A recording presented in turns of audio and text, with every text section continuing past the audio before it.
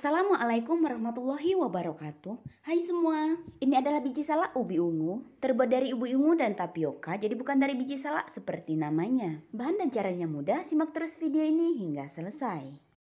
Secukupnya ubi ungu Jadi ini sudah kita rebus kemudian kupas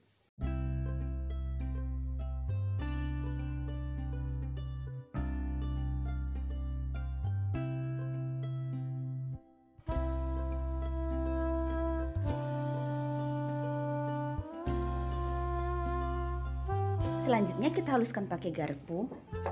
Dapat juga pakai anak ulekan, pakai sendok dan lain-lain. Pokoknya apa pun yang penting praktis. Jika seperti ini nggak usah dipakai, sisihkan rasanya pasti pahit. Setelah cukup halus, masukkan 3 sendok makan gula, sejumput garam dan 50 ml air. Aduk hingga semua tercampur rata. Selanjutnya masukkan 12 sendok makan tapioka. Mudah untuk menambahkan lagi, makin banyak tapioka makin kenyal.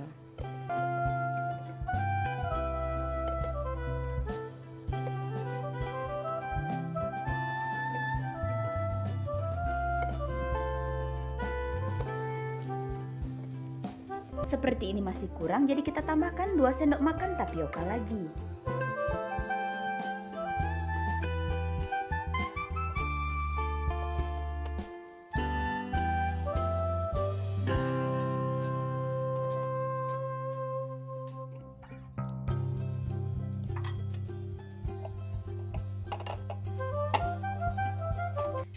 Cukup seperti ini, selanjutnya kita bentuk bulat-bulat.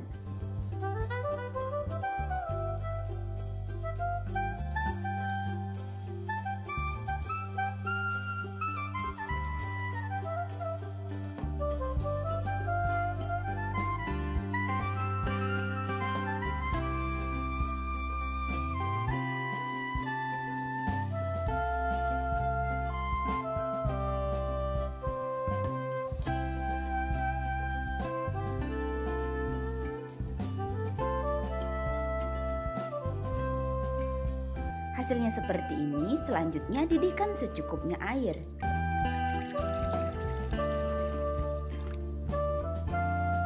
Setelah air mendidih, masukkan biji salak yang sudah kita bulat-bulatkan tadi.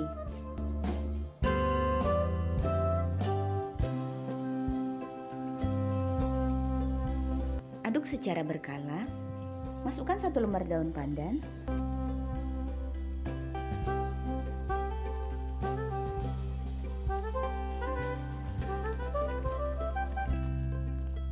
Setelah mendidih agak lama, masukkan 8 sendok makan gula pasir.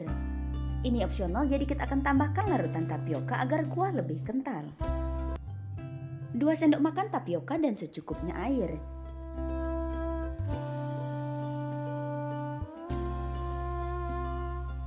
Kecilkan api, masukkan secara perlahan, aduk terus hingga larutan tapioka ini tercampur rata.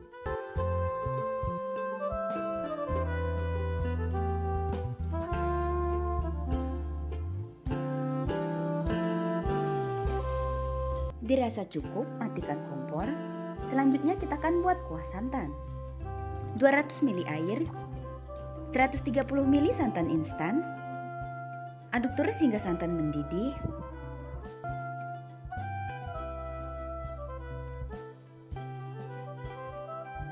Tiga sendok makan gula dan sejumput garam.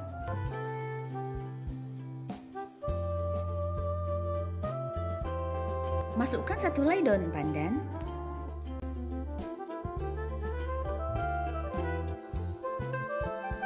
Agar lebih kental, masukkan larutan tapioka, yaitu terdiri dari 2 sendok makan tapioka dan secukupnya air.